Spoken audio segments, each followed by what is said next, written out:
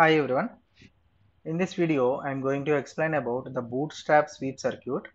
In the previous video, we have seen Miller's sweep circuit. So this bootstrap sweep circuit and Miller sweep circuit both are coming from the standard bootstrap and Miller circuit, bootstrap circuit and as well as Miller circuits. In the standard circuit of this bootstrap, we have considered this um, circuit diagram by making Y to the grounded. Okay, previously for the Miller circuit to design, we have made the Z to be grounded. Later, from that circuit, we have connected Y terminal to be grounded to make it as a bootstrap. Because of making the Y to be grounded, the separation of capacitance is done and the amplifier is acting as amplifier is having a gain open loop gain of unity okay that means whatever the input voltage uh, input current appears that will be exactly input voltage appeared that will be exactly transferred to the output. That is the meaning of gain a. So here also i am taking a uh, switch and now this circuit is going to be converted into a Thevenin's models like what we have done in the previous case. So this is the equivalent circuit for the circuit what we are going to do for the uh, bootstrap see these are the models that we have encountered when we are trying to design the equivalent circuit. See this is the equivalent circuit of the bootstrap when t is equal to 0 and this is the equivalent circuit of the bootstrap circuit when t is equal to infinity. Okay so this is the circuit what we have seen in the previous slide. So a t is equal to 0 minus the switch was closed and so the switch was closed and vi is equal to 0 before g before t minus means we have not applied the input voltage.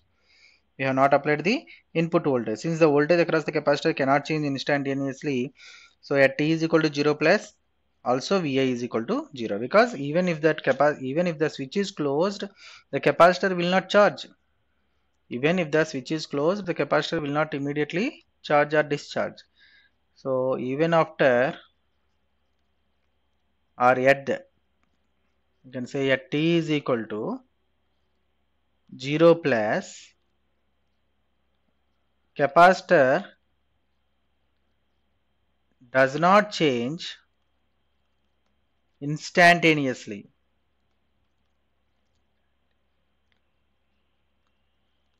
So Vi is equal to 0 there also. Okay, and hence A into Vi is equal to 0. The circuit we have considered this one, first one. This is all happens when Vi is uh, t is equal to 0. Okay. So now at t is equal to 0 plus V naught is equal to minus V into R naught by R plus R naught. Okay. So the output has the same value at t is equal to 0 minus and hence there is no jump in the output voltage at t is equal to 0. Hope you understand because the previous case t is equal to 0 minus and t equal to 0 t equal to 0 plus. So these three cases will be having the same value because the capacitor is not changing instantaneously. Okay, even the time changes instantaneously but the capacitor will not respond. Now at t is equal to infinity, at t is equal to infinity, the capacitor acts as an open circuit. We know already the capacitor acts as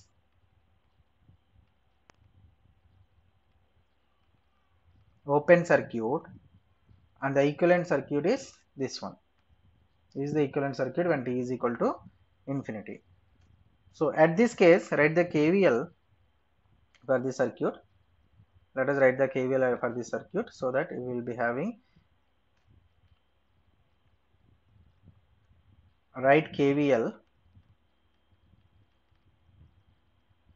v minus ir minus i into i plus avi minus i into r naught is equal to 0.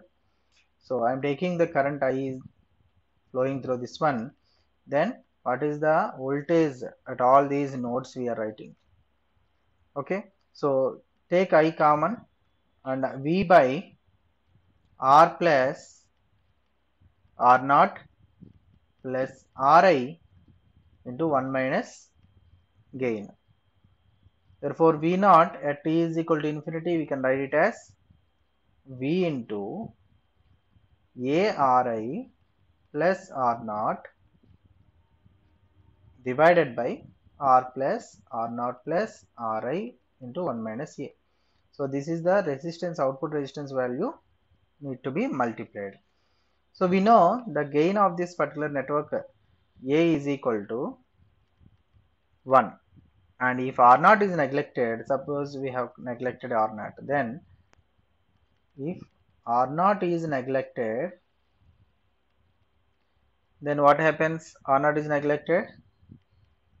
Then v naught at t is equal to infinity is equal to v by 1 minus a plus r by ri.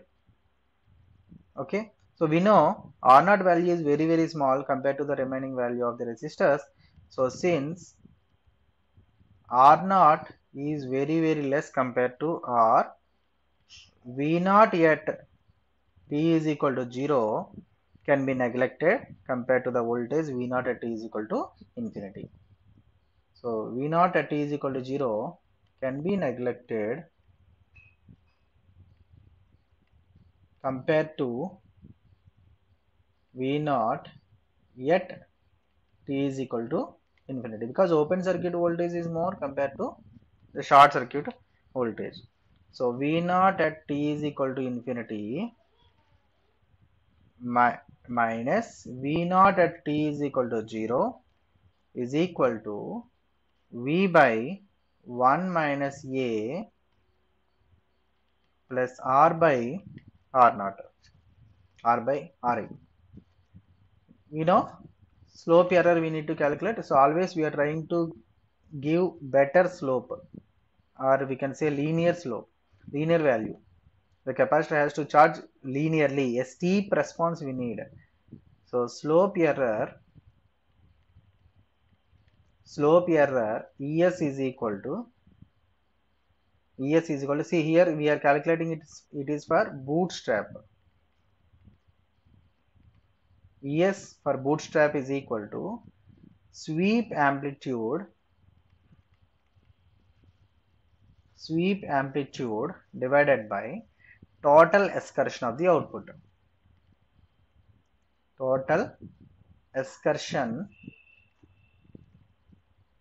of the output. This is what we are writing like uh, Vs by V. Okay, in the waveform, suppose if you are taking any waveform like this, okay, this is from here to here it is Vs. This is known as sweep value. Sweep amplitude. Sweep amplitude is particularly meant for top value to the bottom value of the sweep. The difference between the top value and bottom value of the sweep. Highest amplitude minus lowest amplitude is the sweep voltage. Total excursion of the output or we can say total amplitude is nothing but maximum peak value from the ground level. This is V hope you understand the difference between these two so the same is written here now that is equal to vs by this value is given as 1 minus a uh, vs by v whole divided by 1 minus a plus r by ri. So that is equal to, we can write it as Vs by V into um, 1 minus A plus R by Ri. This is again by of this one, 1 by of this one. Okay, in the denominator we will be having this one. So it is Vs by V into 1 minus A plus R by Ri. This is the slope error. So this shows that the slope error is 1 minus a plus r by ri times the slope error that we would actually want. Okay, previously we have got for the Miller circuit, again one more factor we have got here. One factor that is multiplied by Vs by V. That is simply Ri plus R by Ri into A. Okay, here we have got this is the factor. This is the amount of factor that has to be that is going to be multiplied with the original value of the sweep error i will write here this shows this shows that the that the slope error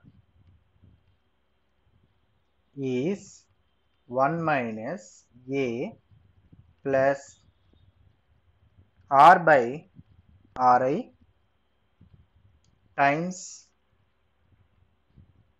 the slope error the slope error that would result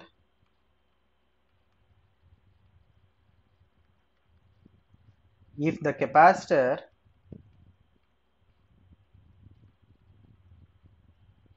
is charged directly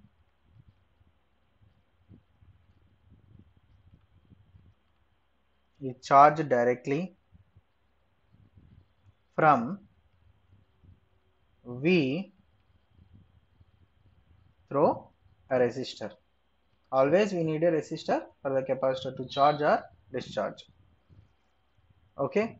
So this is the amount of factor. Normally we should have ES is equal to VS by V, but here we are having a factor that is the amount of this one 1 plus 1 minus A plus R by Ri. This is the amount of factor that is going to be multiplied with the original value of ES to deviate the signal. To deviate the signal. Suppose if the gain value A is equal to 1, then this term A 1 minus A is gone and plus it is R by Ri. R by Ri. So depending on this value R by Ri, the slope depends. The slope is completely dependent on this particular value, resistance, input resistance of the amplifier and as well as the resistance we are choosing at the input of the, for the capacitor to charge.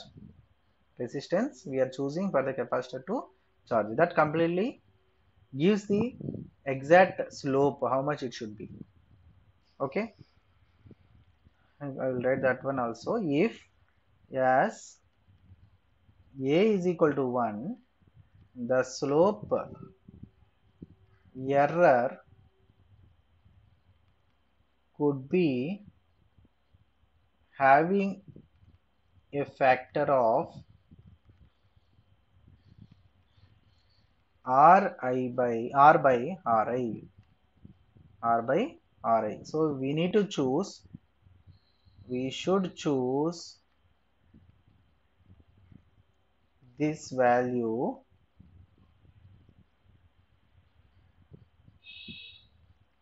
to keep less slope error. Hope you understand okay so this is about bootstrap circuit